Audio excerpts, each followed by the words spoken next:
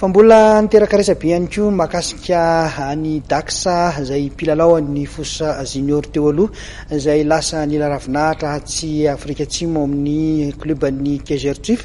Ny alarobia teo ary dia nivoaka ny fanapahan-kevitry ny avy any amin'ny Fifa fa dia mahazo milalao ara-dalàna ao anatin'ity kluba atsy Afrika Atsimo ity i Daxa. Rehefa ny fiampiandrasana tao anatin'ny fotoana lavalava ihany dia namaly ny fangatahan'ny ekipa afrikanina tatsimo, Kaizer Chiefs, mahakasika ny fahafahan'i Dax na i Haro Hasina Andriamirado milalao ao aminy ny Fifa.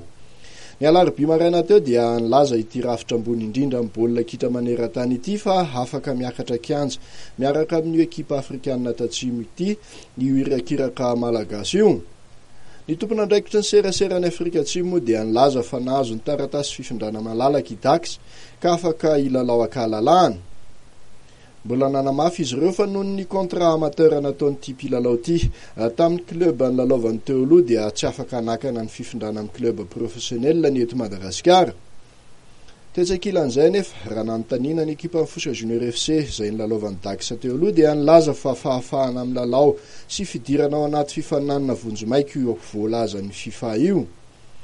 Raha ny filazan'izy ireo hatrany dia nampirisika ny hisian'ny fifampiresahana eo amin'ny club roa tonta ny rafitra mpihaino baolina kitra maneran-tany.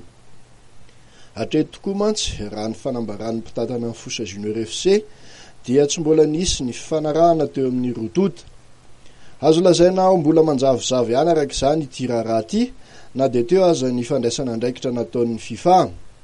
Ny fanirian'ny rehetra dia ny hilaminan'ny toe-draharaha sy hifanarahan'ny club roa tonta ho an'ny tombontsoa ambonin'ny baolina kitra malagasy.